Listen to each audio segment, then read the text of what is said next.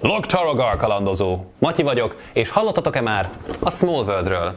Ebben a csodás családi játékban mindenféle fantasztikus népet irányítva kell kitúrni egymást egy irinyó-pirinyó kontinensről, kiarcolván ezáltal magatoknak a legdicsőbb irodalom címét. A játék hatalmas sikert aratott, és most kiegészítők és folytatások után megérkezett a közkedvelt játékstílus Ezeroth háborúdult partjaira is. Köszöntünk a Small World of Warcraftban!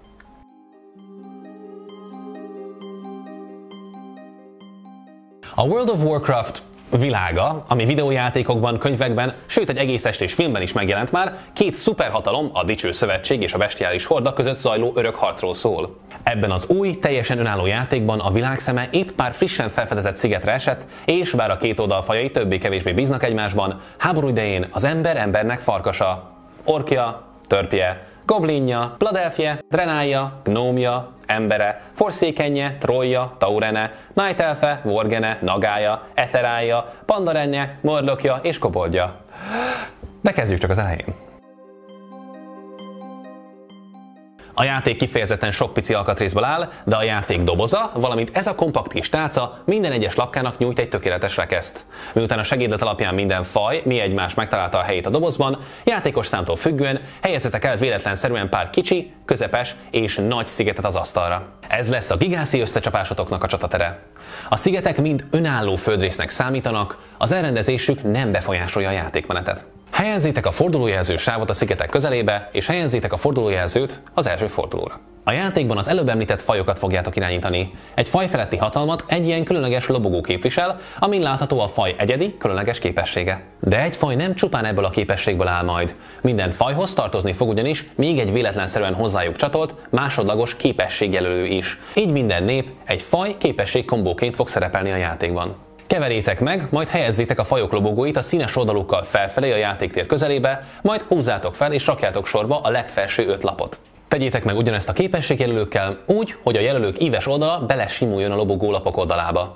Így a paklik legfelső lapját is beleszámolva 6 faj képességpárost alkottatok. Eljött az idő, hogy elhelyezzétek az őslakosokat, vagyis a gurgulázó, ikonikus mörlokokat. Az összes kagylóval jelölt területre helyezzetek egyet-egyet a primitív, nem játszható faj lapkájából. Keverétek össze az erekje és legendás helyjelzőket, majd véletlenszerűen húzatok fel annyit belőlük, ahányan játszanátok. Helyezzetek egyet-egyet ezekből a lapokból a szigetek méreteit jelző területekre, anélkül, hogy megnéznétek őket. Minden hegyterületre helyezzetek egy-egy hegylapkát. Végül, de nem legutolsó sorban vegyetek magatokhoz ötöd győzelmi érmét, ami a játék alatt egyben fizetőeszközként is funkcionál majd. A többi pénzt és a tálcát tegyétek egy könnyen elérhető helyre. A játékot az kezdi, aki legutóbb játszott valamilyen videójátékkal, ami után haladjatok az óramutató járásának megfelelő irányban egészen addig, míg megint a kezdőjátékos nem következne. Ekkor mozgassátok egyel előre a fordulójelzőt. Az első fordulóban egymás után mindannyian ki fogtok választani egy fajképesség kombinációt, el fogtok foglalni néhány területet, majd be fogtok gyűjteni néhány érmét.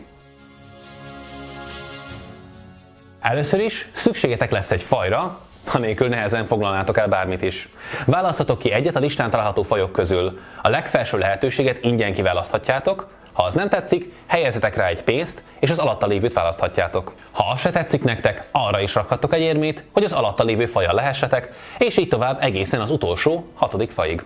A kiválasztott faj képesség kombót vegyétek ki a sorból, majd minden az alatti faj képesség kombót csúsztassatok egyel feljebb, ezzel felfedvén egy újabb fajt és képességet a paklikból. Amennyiben egy olyan fajt választottatok, amin már van valamennyi pénz, az is a tiétek. Mi a gazdálkodó nómokat választottuk. Most, hogy nálatok van a kiválasztott fajképesség kombótok, a térképen őket jelölő egységlapkákat is gyűjtsétek be a tálcáról, de csak annyit, amennyit a képesség és a faj lobogóján található kék hátteres számok összege nyújt. A játék területek elfoglalásáról szól, amit egy végtelenül egyszerű rendszer irányít.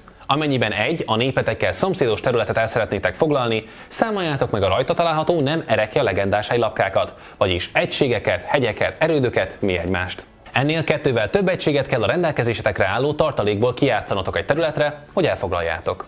Az ezáltal meghódított területről vegyétek le az összes ellenséges egységet. Ha mörlökről van szó, ők ki a játékból egyenesen a tálcába. Ha egy másik játékos egységeiről van szó, vissza kell vennie őket a kezébe, és a veszteség méretétől függetlenül csupán egy lapkát ki kell dobnia. Egy kör alatt akárhány területet elfoglalhattok, a határ csupán a tartalékotokban található egységek száma. Fontos, hogy tavakra normális esetben nem lehet rálépni, így azok elfoglalhatatlanok.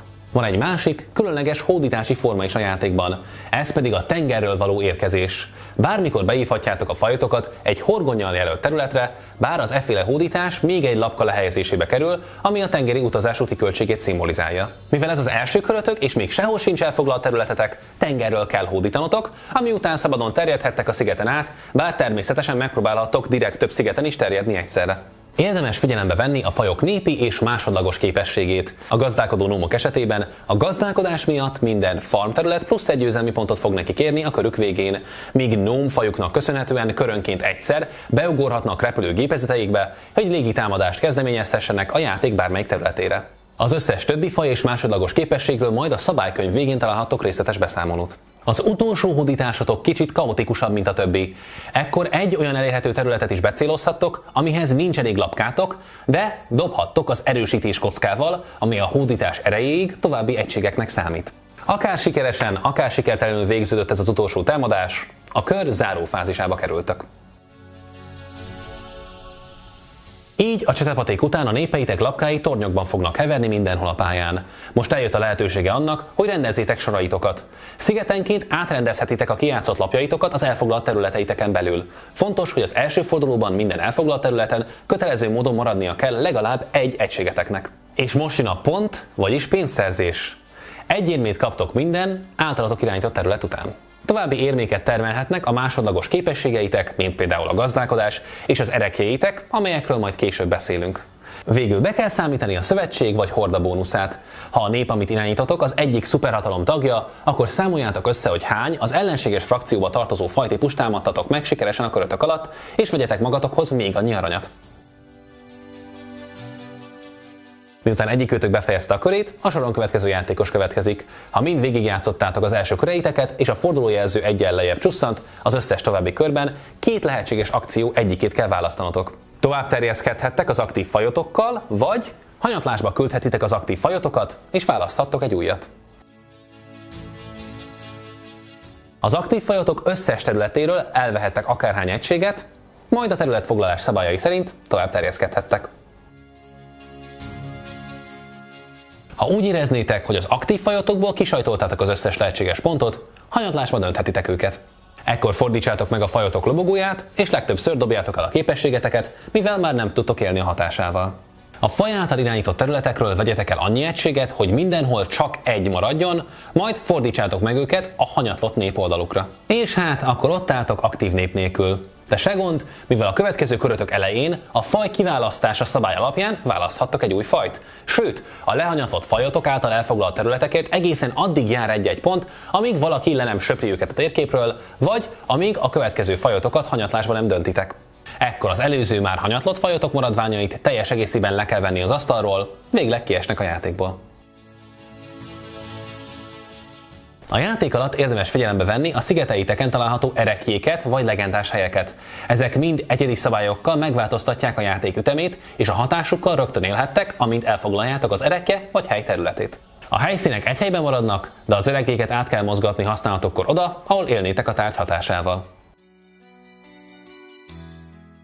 A játékosok számától függően a 8., 9. vagy 10. forduló után véget ér a Warcraft világáért, na jó, szigeteiért folytatott harc.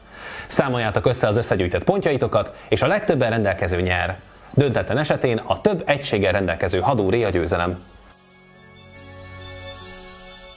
Ha kedvelitek a Horda és Szövetség közötti vetélkedést, az új csapatjátékos Harc Ezerothért játékmódot is meg kell említenünk, hiszen ott épp ezen van a hangsúly.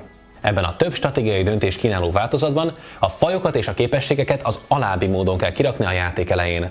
Osszátok magatokat a horda, a szövetség és páratlan játékos szám esetén semleges csapatokba. A játék alatt csak a saját világhatalmatok fajait váltitek el az elérhető népek oszlopaiból, ami akkor a sávja végén található különleges képességgel párosul. A harc Ezerothért mód végén a csapatok felfedik, hogy játékosonként hány pontot szereztek. Minden oldalnál a legkevesebb pontszámot elérő játékos győzelmi pontja a mérvadó, így a legkevésbé gyenge oldal játékosai nyerik meg a játékot. A Small World of Warcraft két világot olvaszt össze egy egészen új élményé, anélkül, hogy elvesztené bármelyik alapanyag egyediségét. A Small World kedvelői új népekkel és képességekkel fognak találkozni, a vadonatúj csapatmódról nem is beszélve, míg a Blizzard játékok rajongói egy új módon merülhetnek el ez a rott világában. Jó játékot kívánok!